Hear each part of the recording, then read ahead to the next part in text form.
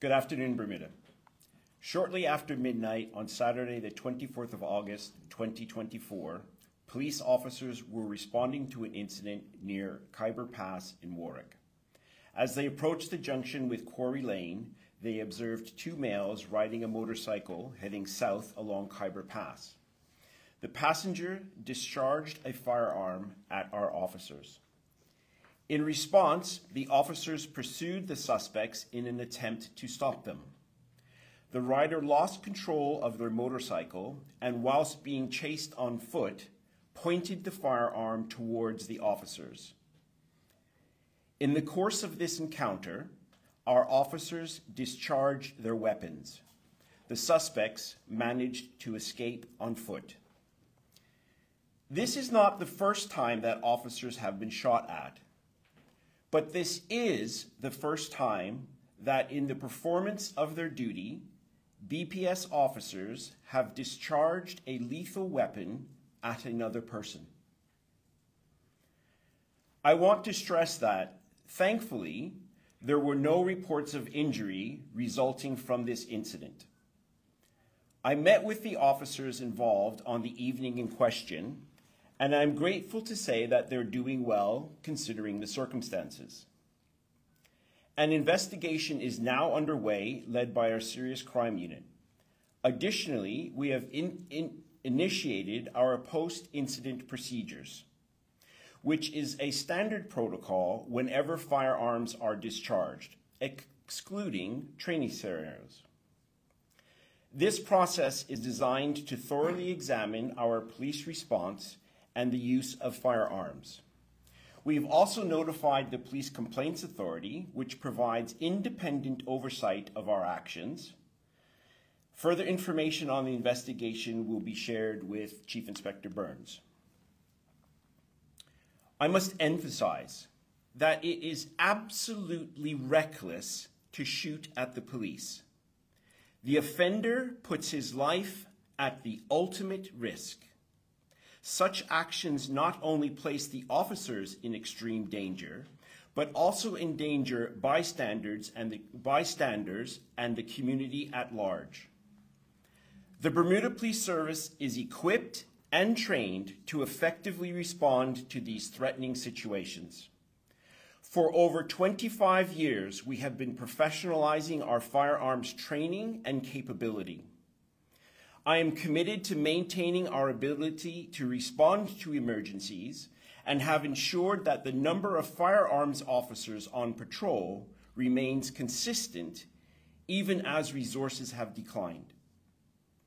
Rest assured, there are dedicated teams of officers working tirelessly to deter and disrupt and apprehend those gang members who show a wanton disregard for our community's safety.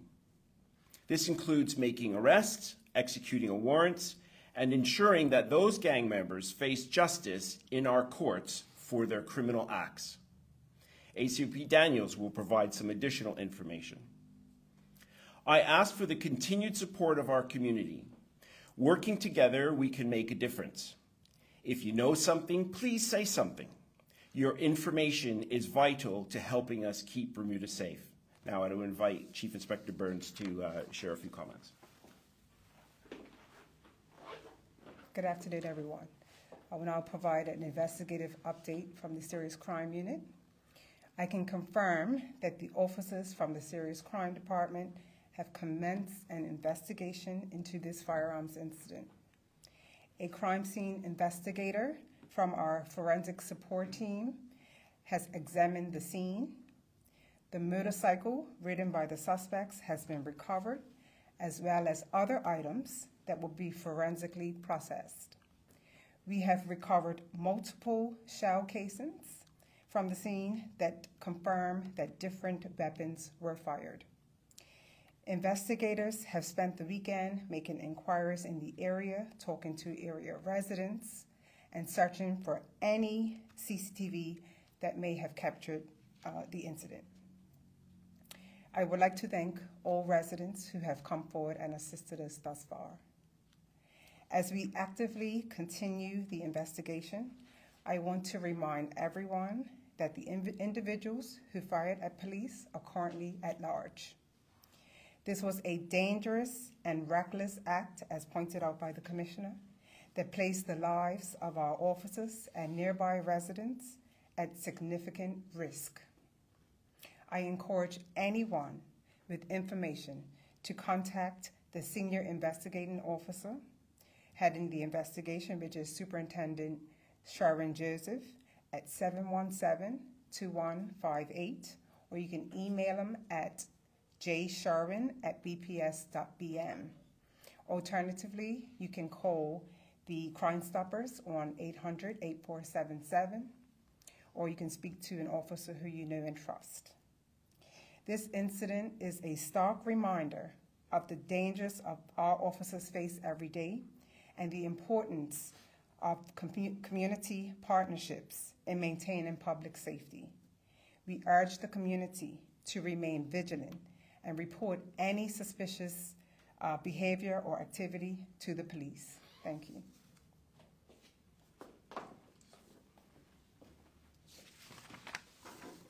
Good afternoon, members of the media. As noted from the Commissioner of Police, Mr. Simons, Bermuda continues to navigate through a difficult period of firearms use and senseless violence. As I've already said during previous press releases, to date we have experienced seven murders since Bermuda Day 2024, three of those with the use of a firearm. An example of the community experiencing overall trauma this past weekend, we've had number one, an officer-involved shooting incident. Thankfully, no one has uh, been reported injured. This was our 14th confirmed firearms incident uh, of 2024. In 2023, we had eight. This is a real concern uh, for the island. Sadly, Saturday night, we also experienced our fifth traffic fatality when a 50-year-old male lost his life under tra tragic circumstances on our roads. And in addition to that, there were reported 20 motorcycles stolen from various locations around the island. So just, just a snapshot of this past weekend. Tackling criminal gangs is the number one priority for the Bermuda Police Service. We continue to evolve our operational response plans to two key themes. One, targeting those most likely to cause and commit violent acts, as well as providing community reassurance. I recognize that some within our community will say that the police response often appears reactionary as opposed to being more proactive. Notwithstanding, officers cannot be everywhere all the time, the BPS has placed a heavy emphasis on deploying officers in areas where the highest threat is likely. We've conducted a number of successful pre-planned and proactive operations with huge success in recent months. This includes the seizure of millions of dollars, what is believed to be earned via unlawful means, multiple large drug seizures, the arrest and charging before the courts of drug and firearm suspects, together with the recovery of eight operational firearms since last December one of which is linked to multiple confirmed shootings since 2009. As we continue to execute these operations, particularly those involving traffic checkpoints, I am seeking residents' cooperation in exercising the necessary patience and restraint as some of the more highly visible tactics may impact you, as some of you may have seen recently. There will continue to be increased patrols in affected, affected areas, particularly those deemed hotspots and where various communities have been impacted by recent incidents of violence or other trauma. There continue to be teams dedicated to targeting those suspected of committing violence. These teams have been in place for the majority of the summer with great success, as I've highlighted above. In closing, I take this opportunity to thank those persons who have provided assistance to the police so far, as well as those police officers who continue to show up and show out every day. It is incumbent upon the community to stand together and support each other when faced with those bent on destabilizing our society. The Bermuda Police Service continues to be encouraged by those willing to do that. Without information from our communities, we have only part of the picture. The more complete our sight picture, the better we are able to direct our own activity to those areas with the greatest need, continuing to arrest and convict those who cause the greatest harm. Thank you. Any, any questions? Yep. Commissioner, a few press conferences ago, I asked when a father, a mother was killed, is this a game changer? Now, it's Saturday night, do you agree this is a game changer? Uh, I've actually already said to the media that I think there's been a step change in terms of uh, you know what people are willing to do or the level of violence um, that we're seeing, um, and perhaps this is sort of indicative um, of, of that trend. So it, it is concerning. Uh, the Bermuda Police is doing its part to uh, identify and arrest individuals that are involved in that criminality and be, and, and to detect and deter sorry, to deter and disrupt activity before it happens.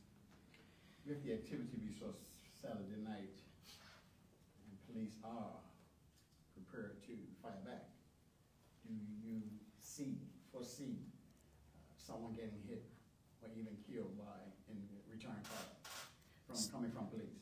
Right. So I think every uh, that that is an eventuality that we need to prepare for. The, the reality is in 2024, um, as a policing organization for a fairly large for a fairly large uh, population that has the full range of, of policing issues, um, I think it is a testament to us as a people and to us as a as a group of police officers um, that that that has not occurred, particularly in light of the number of confirmed firearms uh, incidents that have occurred over the past you know 15 years. What do you say to the public? You see on social media where they call the police uh, soft in their reaction. Uh, I know you've had, because of the law, uh, can the police change their tactics? So I, I, I appreciate that perspective. I think um, you know, when you look at other jurisdictions and, and the style and nature of their um, policing, uh, it can be a little bit different. One of the things that I'm particularly um, pleased about is that our relationship with the, the, the, community and the public is a positive one. Um, the, uh, the public are continuing to ask to see our presence, and I think that is um, a reflection of the balanced approach that we take towards law enforcement. Mr. Daniels pointed out that in this year, uh, or since December of this year, we've recovered eight firearms. I don't have the total amount of arrests that have been made, but there's be a number of court cases that are backed up. So the, our response is proportionate to the um, events that and incidents that occur. What do you say to the elements that we see today where these individuals have no respect, no regard for even the law. I, again, when you look at you know trends that are happening uh, sort of just globally, particularly in the uh, OTs, you know where um, there are you know significant amount of criminal uh, firearms types of incidents, we're we're doing quite well as a community, right? Those are down to individual choices, and we've seen evolution in behavior of the uh, you know of the community, which is quite frankly disturbing. Thank you. Um, going back to the, the, the incident itself early on Saturday morning, could you tell me what the um, what the initial incident was that, that caused police to, to go to Tiger Road? You said there was an, one incident. Um, and is it related to the shooting? Do you think that... Uh, so it was a call. It was a call for service. Um, uh, maybe like a, a, prowling or a burglary uh, in progress. Um, I don't want to make the link between those two at this point. It's way too early to establish that, but without a doubt, that's a line of inquiry that we're examining. And, and why were the police armed? Because we thought that only um, you know, an armed response unit, members of an armed response unit will be armed, but generally officers on patrol don't normally carry firearms, do they? So um, there are a group of officers that you know 24 hours a day are are armed right so we have an armed response capability that is 24 hours a day and you know they're out on patrol so there is a likelihood that um, people up to bad things are going to encounter a firearms officer right and um, do you know exactly how many shots were fired at this moment in time, that's you know just not information that we're going to release. We have the uh, um, post-incident investigation, the post-incident uh, procedure, which really is about examining. Well, there's two things. There's the actual investigation, so general police investigation, but there's another um, inquiry that really looks at the entire process, and it's just far too early in that inquiry to say that. But, but you are confident in saying that it was the, the suspects who fired first, um, and then There was a Police, response. yeah. Yes. Um, and so there was, would it, would it be fair to say that it was a firefight, or was it just, you know, one or two shots? Or? I, I, I'm, I'm confident in saying that there were there was a, a a number of um, shots that were fired um, on on both sides of this equation, if you'd like. Now, you, you mentioned in your, in your initial statement that thankfully there were, there were, the, the, the offenders managed to escape, and then there, there were no reports of any injuries, nobody going to hospital, Hospital. gunshot wounds. Or, Yep. And, and you, you seemed um, quite pleased about that, but it, it does rather beg the question, what's the point of police officers firing at suspects if they're not going to hit the target? Uh, I appreciate that, but when you're dealing with people that are on foot, running, moving, etc., that is an incredibly um, difficult kind of circumstance, which you would see, you know, the world over. And whilst we're on that point, I just have absolute confidence in the firearms teams in terms of their training and their capability. That was an extremely difficult situation that we were confronted with, and when I step away from that, I'm grateful that no one was in fact injured. Right. And how many officers were involved, actually? Sorry, should just clarify that. Two. Two. And, and you said that they're, they're doing well, but what's the, what, what's the mood generally amongst, uh, amongst uh, your teams and, and how are police officers feeling generally? But I- have any feedback? I, I, I mean, uh, yeah, I'm sure that there's, uh, you know, some, some reflection that's going on, without a doubt, you know, some concern, you know, that officers would be uh, ex- experiencing. Um, you know, what we're, we're, we're fortunate that all our officers have safety equipment that uh, they would routinely use when they're uh, on patrol. That includes um, ballistic protection. Um, that they're encouraged to also be uh, continuously to be to be vigilant when they're making traffic stops and attending scenes where there's any type of indication that there's a threat of violence, that they um, would take the appropriate steps and respond safely to that. Commissioner, thank you so much.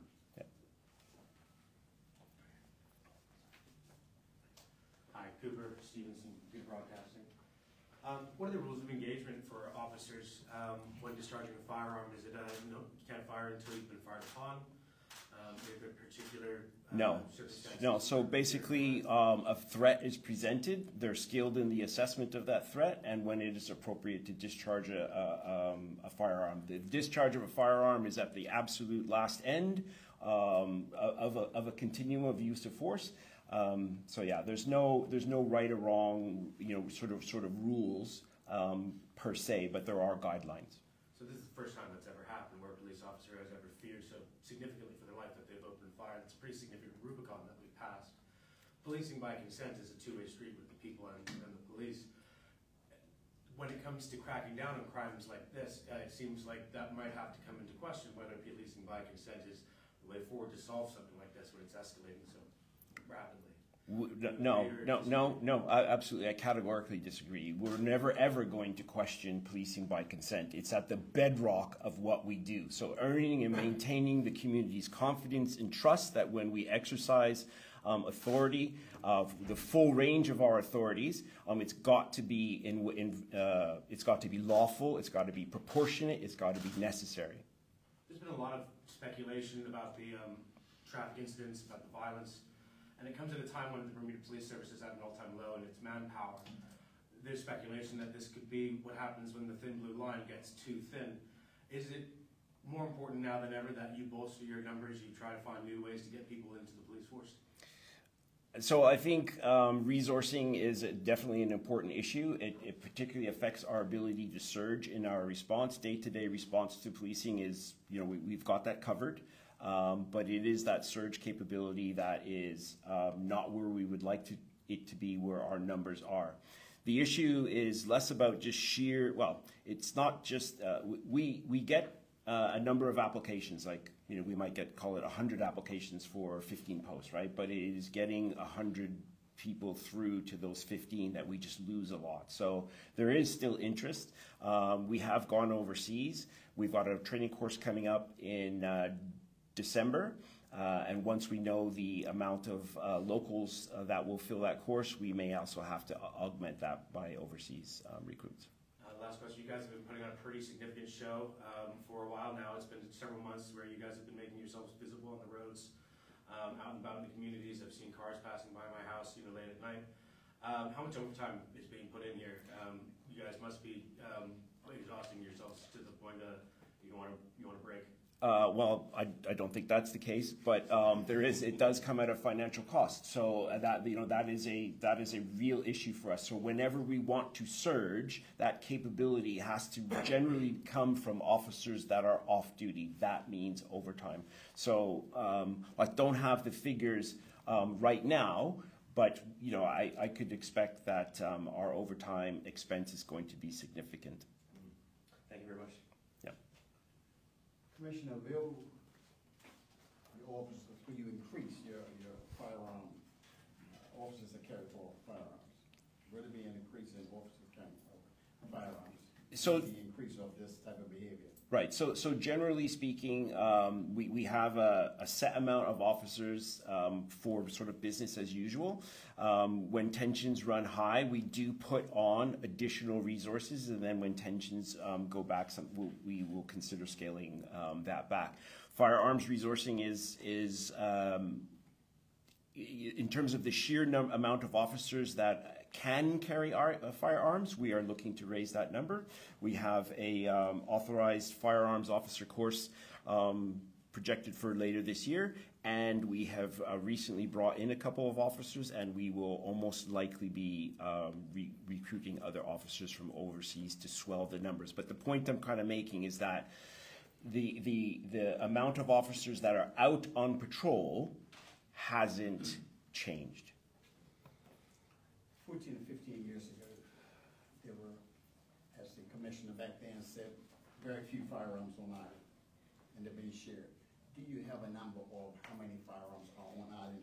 So we've been asked that question for years and years and years, and uh, what what I can say is that there still seems to be evidence that there's a small amount of firearms that are being used criminally. So if somebody has a firearm that they're just not using, it's difficult to say that that firearm exists or doesn't exist. But there still is evidence of a relatively few number of firearms that are being criminally used.